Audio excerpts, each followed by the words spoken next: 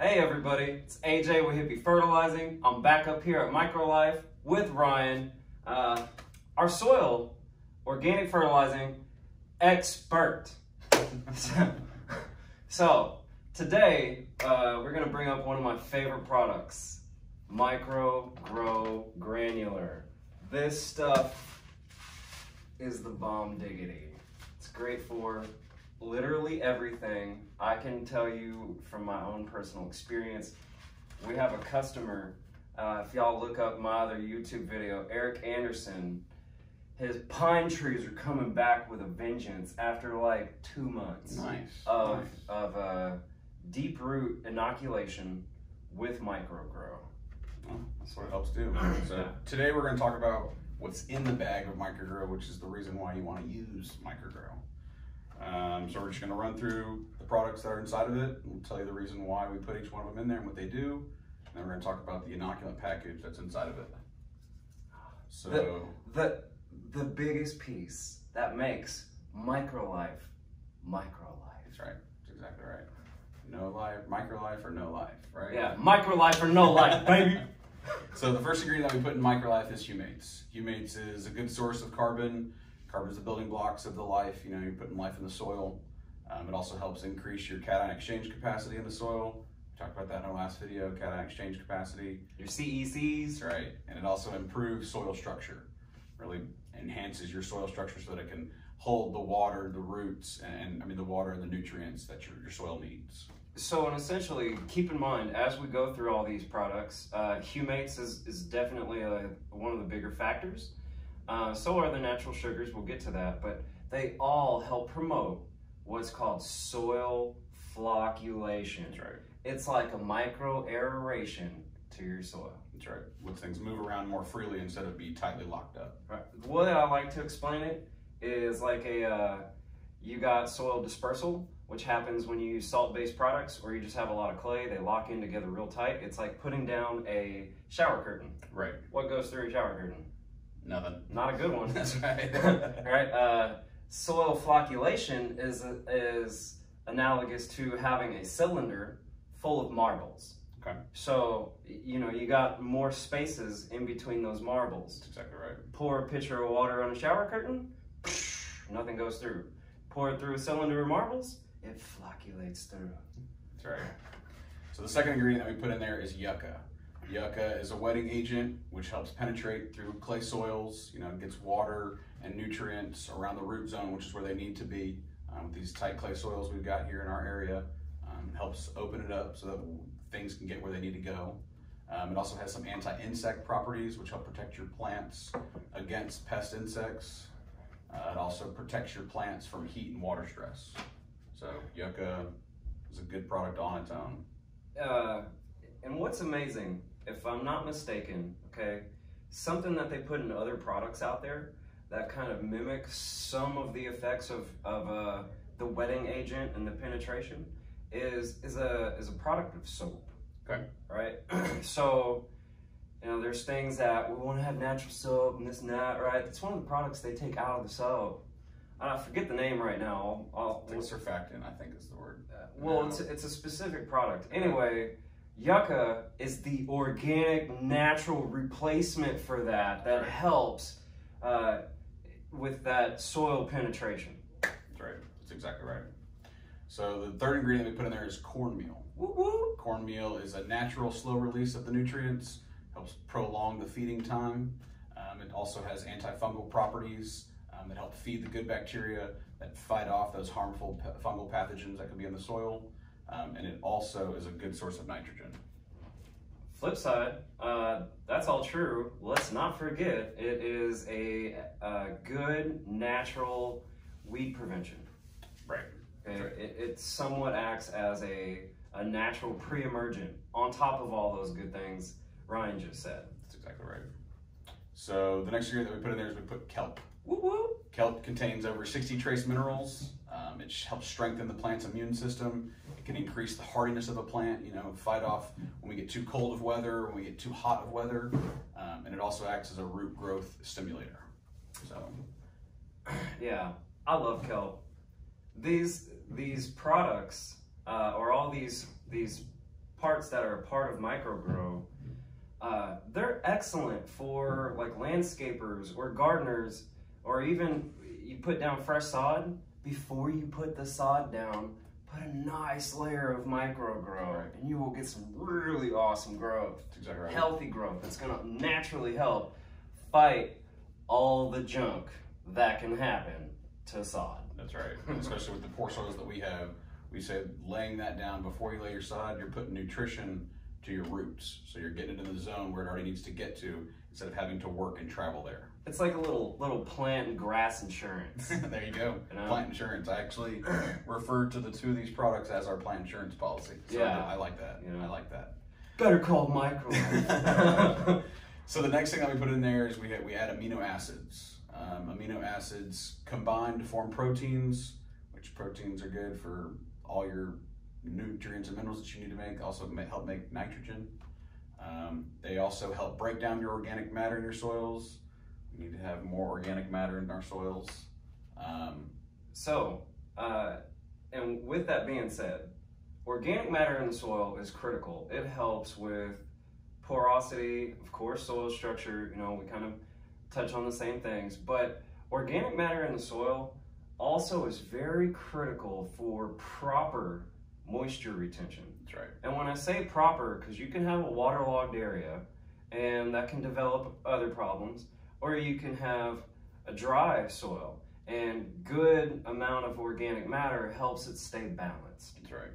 We talked about water with a 3% organic matter, 18 inches deep, one acre can hold, what was it, 27,000 gallons of water? Actually, it's it's if you add one percent of organic matter to an acre, it increases the moisture or water retention by 27,000 twenty gallons. seven thousand. That's a lot. You could have this reservoir in your front yard or backyard instead of it all going into your drain and going out somewhere else. So, Yeah, it's it, it's critical uh, in terms of reducing your need for irrigation, right. which is a big one. That's like no matter what's going on, it's uh, something. Who wants a big water bill? Nobody. I certainly don't. The other thing, okay, we're in Houston. I'm I'm out of League City, but what we experience like feels like every year is hurricanes. Yes. What would drastically reduce flooding from hurricanes or other strong weather events? Right. uh, is increasing that soil porosity, organic matter, things like that, so that we do have less runoff, Right. so that it helps uh, c- reduce the load on the larger infrastructure. That's right. You're, you're lawn and accept more water as opposed to not. Right. So, um, next thing that we put in there is the natural sugars. We just talked about the natural sugars, but natural sugars give your soils and plants energy. Um, it's kind of main caveat of soil and plant energy, which we love so much. Woo woo. Um, it also can, provides plant carbohydrates um, and food for the microbes. We're obviously all about supporting soil biology, and what does that is natural sugars giving the plant what it needs so it doesn't have to work so much for it. So in a way, correct me if I'm wrong. Uh, it's it's a little bit like having added molasses to the MicroGro, That's exactly right. right? That's exactly right. So you know, you know, around here we all about that SSB, baby. so then the last thing that goes into MicroGro, which is probably the most important that makes MicroGro MicroGro, is the MicroGro CM inoculant package that we put inside of it. Um, we put 63 beneficial strains of bacteria and fungi inside of there to help enhance the soil and support soil biology. So hold on, I just want to like like highlight this right here, okay? I've done my homework on organics, on biological inoculants, on feeding soil, so on and so forth. And you know, you always want to look for the best, Right, right? That's my job. That's my duty to give the best to my customers that I can find. right. Let me tell you, hands down, nobody comes even close to the variety and diversity and the amount of biological inoculation in a single product. So, sorry, I just wanted to highlight that big time. That makes sense. Let's That- go on with that. That's true. What, So- 63? That's right, 63, and we're going to break them down. So we've got 33 species of bacillus. Woo! Your bacillus are mostly antifungal properties. Um, you've got some anti-insect properties in there. You also have um, soil improving properties in there. Um, your bacillus strains, I'll just name them because I've got them. We've got Bacillus subtilis, Bacillus firmus, Bacillus amyloliquefaciens, Bacillus licheniformis, Bacillus pumilus, Bacillus megaterium, Bacillus coagulans, and Bacillus pasteurii. I can't say none of that. And they really, you really don't need to know their name. You really need to know what the purpose of them is. And the majority of them are antifungal, fighting off those bad pathogens that could come in, those fungal pathogens that could come into your, your area, brown patch, what have you. So, so I like to think of it like this, okay? They're kind of like the guards of the rhizosphere. That's right. You know, I boom! like that. I do. You ain't breaking my defense. Uh, the next set is the Paenibacillus. We put nine species of Paenibacillus inside of there. You've got Paenibacillus polymyxa, Paenibacillus durum, and you've got your Paenibacillus azotoformans. Those are also antifungal properties. Um, they're also nitrogen fixing bacteria. NFB. We love nitrogen fixing bacteria. While there is no NPK ratio, and in future videos we're going to talk about the numbers that are on a bag, but this does not have those numbers on the bag. But there is still nitrogen content that this can pull from the air, use that nitrogen, put it in plant ready form, and supply your plants and your soil systems with nitrogen. So, like a little tidbit. People always ask, well, uh, how much nitrogen? What's the ratios? And I'm like, I don't care about ratios because it's about feeding the soil, not NPK necessarily. Uh, and I ask you to do this. It'd be really funny if y'all did. Take a deep breath. What did we just breathe the most of? Nitrogen. Right. So we have like what 90, 78% uh, nitrogen Right. in the air that we breathe typically. Uh, so it's like it's all around us. We just gotta give nature and soil what it needs to grab the resources that are already there. That's exactly right. I read a fact yesterday that there is 35,000 tons of nitrogen above one acre of soil. Holy biscuits. That's 70 million pounds of nitrogen above an acre of soil that these guys reach up, grab out of the air, mineralize, give it to the plant. Right. So,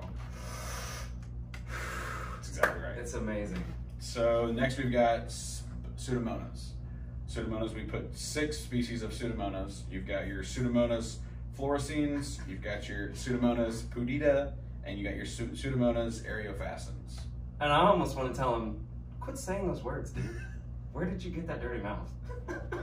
I mean, these are, um. when it comes to microbes, these names are crazy. They- And so, because they are so crazy, we often don't ever think of looking at this stuff. Or care about them, unfortunately. I mean, Right. Too difficult to say, too difficult to treat. I mean, maybe that's the caveat. So Something like that. Next thing we got is we got uh, Streptomycetes. We got eight species of Streptomycetes. We've got Streptomycetes griseus, Streptomycetes lydicus, Streptomycetes coelicolor, and we've got Streptomycetes nodosus. Those are your antifungal properties. Also, last one's got a um, it produces growth compounds, so it helps your plants grow. If they are, don't have the ability to have those compounds to grow, this does that. Adding that to the soil helps that. So, if I'm not mistaken, uh, it, it really enhances the growth hormones of a plant, Right. which is critical. Very much so. Uh, kind of like paired with the kelp and everything else that's in the in the, the ingredients of the bag, like we've discussed.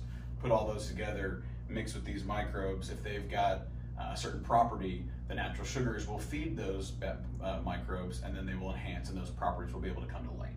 So, again, making more stuff available. right, right, and supporting soil biology, ten, Yeah, yeah. hands down. So then the last things that we put in there are trichoderma. We put seven species of trichoderma. So all the ones that we've just mentioned were all forms of bacteria. Trichoderma are your forms of fungi.